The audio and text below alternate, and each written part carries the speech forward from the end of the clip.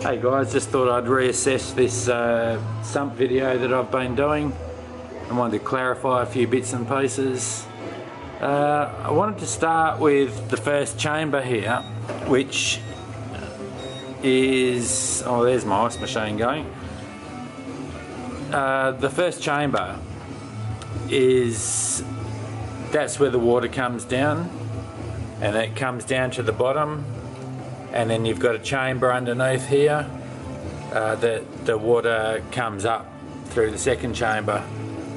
Um, this piece of glass here is one piece of glass and it stops there. It's like about an inch below uh, the top of my tank and that dictates your backflow if you ever have a problem.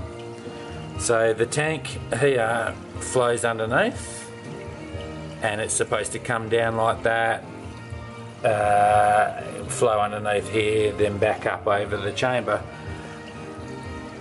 But what happens is if this wall here gets blocked up what does is it backs up here and it comes back over your tank and it's set at that level there which is the emergency level uh, and what it does is it flows straight over the top of all that media there and then goes down into my biological filtration.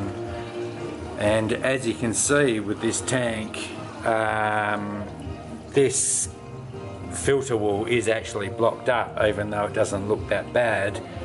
Um, and what it's doing is it's backflowing up here. And if I lift the top of my tank you can see that uh, the top of the bulkhead top of the bulkhead here the water is flowing over it and it's just skimming over the top of everything and missing it. But what that is is it's a safety feature in case you're lazy like I am and your filtration gets back blocked so it's really important that's just one piece of glass. You've got an inch and a half at the bottom you've got an inch or an inch and a half at the top and it backflows back over the top if there's some sort of emergency.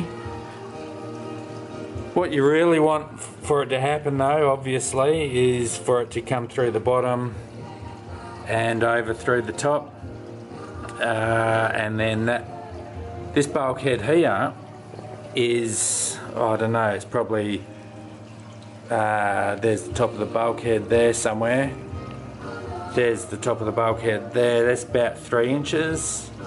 So you've got a waterfall effect, so nothing can ever backflow back up that way. Um,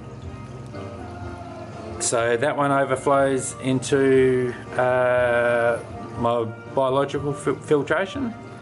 That also only needs to be one bulkhead. It goes through my uh, biological filtration and then we come to where it has to come through the bottom. So what happens is you have two bulkheads here. And that first bulkhead dictates that's probably about uh, I don't know probably about an inch or two lower than the previous bulkhead. So it's lower again. And what happens is that dictates any emergency flow in your biological tank here uh, but what happens is the water actually comes down here. And because that one there is lower than this one the water flows over. If there's any uh, backflow it will actually come over the top. And then we go into where your water gets pumped back up to the tank. Uh, not sure whether that really made things a little bit more obvious or not. Uh, my 2am uh, descriptions of things are probably not the best time to be doing things, but it's the most fun for me because I've had a couple of coldies, but uh, there you go.